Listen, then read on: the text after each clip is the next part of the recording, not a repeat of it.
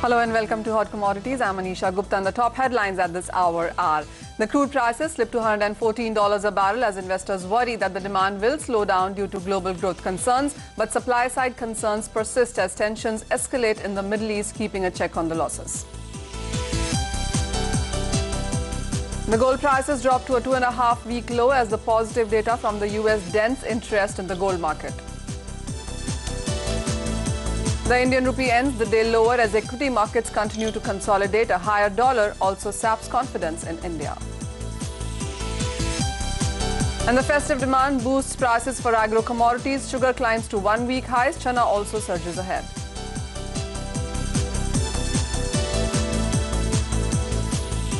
Start with a check on the oil prices where the Brent has slipped to $114 a barrel as investors worry about demand for oil as global growth outlook worsens. But mounting tensions in the Middle East have increased supply side concerns, keeping the losses in check. There on your screens, we've seen some gains coming back after the European markets have opened. Ditto for the NYMEX as well. $92 is back on your screens.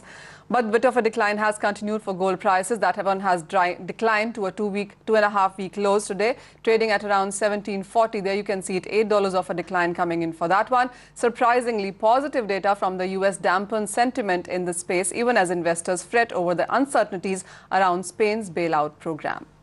Let's get in our guests then, and we are joined by Vibhu Ratandhara. He's AVP Commodity Research Bonanza, and Vijay Bhambwani is author and CEO of BSPLindia.com. Vibhu, let's start with you, and let's start with precious metal space first, and that's the only one that has continued to decline. The U the rebound in US dollar, also the very positive data that has come in from US, all of that weighing on.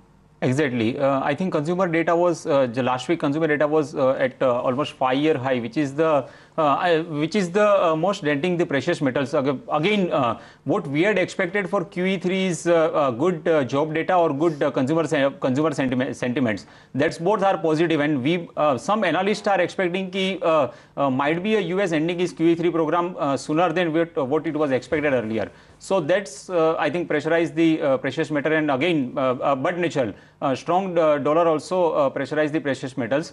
I think in the domestic market, 31,425 is a very good resistance level for the gold. Um, um, uh, every rally could be uh, buying, uh, could be a selling opportunity with the stop loss 31,425 for the target of somewhere around 30,800 in coming days. Vijay, what's your sense coming in for the silver prices especially? Because we seem to be, uh, you know, ready to break that 60,000 on the lower side. How do you think, how much of a decline these prices can touch? Manisha, uh, there is a clear overhang on crude prices, which is why uh, bullion prices are clearly under pressure. In addition to Vibhu, uh, what Vibhu just said, there is also that uh, announcement by the US that their oil output is now at the highest since 1995 and US is considering at least uh, cutting back on its import if not turning an exporter to a mild degree, which is what is exerting downward pressure on bullion prices. I talked about uh, uh, 62,300 as a breakout level on silver. That's not happening. So probably we are heading below uh, 60,000 uh, psychological threshold, in which case my guess is it could uh, go down all the way to 59,250 levels also.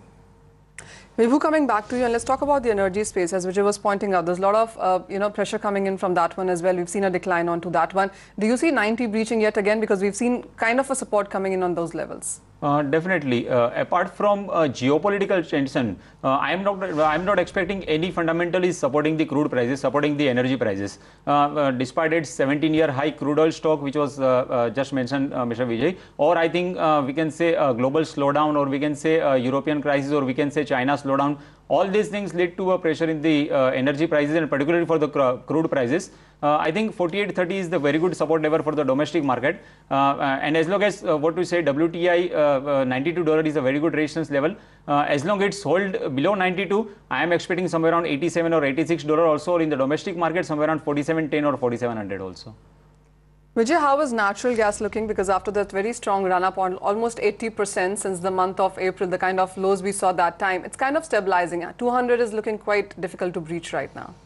I agree with you, Manisha. I, have been talking about 190, 195 as a band to watch out for. It's unable to go past uh, uh, those levels and close.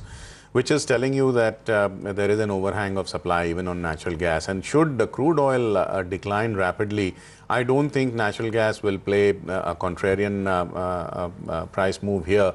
So my guess is if crude is likely to go down, it'll probably drag natural gas with it.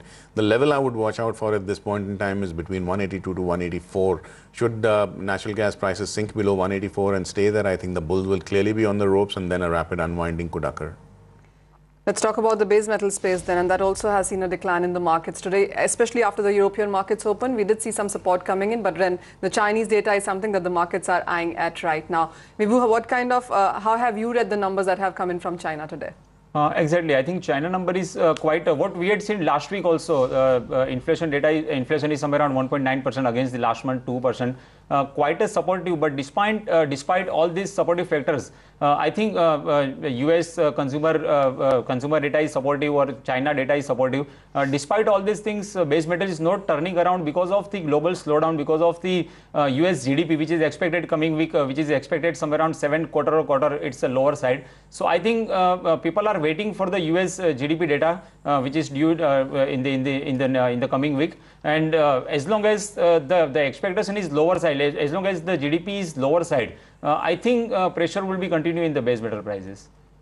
Vijay, what's your sense coming in? Because on one side you have the EU convention happening this week, and a lot of Chinese data also is coming in. So it's quite a news-driven week in that sense. The base metals, of course, will be taking cues from that. Absolutely right, Manisha. Uh, the uh, news emanating from China has been uh, that it's cut uh, electricity tariffs in uh, some uh, industrial metals producing provinces.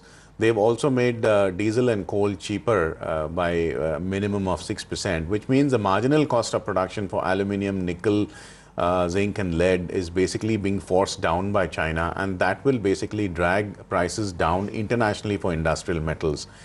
Uh, the other side is a, a, possible bailout of some nations, especially uh, Spain, if it asks for a bailout, especially a loan to Greece or maybe even a bailout of Cyprus. So that could uh, basically be a counterproductive move, which is why you're seeing uh, some uh, counters like nickel showing signs of sporadic strength. But between this pull and push, I think the consumer nation China, which is clearly lowering the prices, will prevail. And I think uh, at higher levels, most of these industrial metals will get sold into. So I would basically want to resort to a sell on advances strategy here. All right, so sell on a sell coming in for most of those non-agro commodities today, whether it's gold, silver, crude or copper is how our experts are treating it. Vibhu, thank you so much for joining us with your sense on all of those commodities. With that, let's take a short break. When we come back, we'll talk about the Indian rupee, which ends the day lower as equity markets continue to consolidate. A higher dollar also saps confidence in India. And the festive demand boosts prices of agro commodities. Sugar climbs to one-week highs while chana also surges ahead.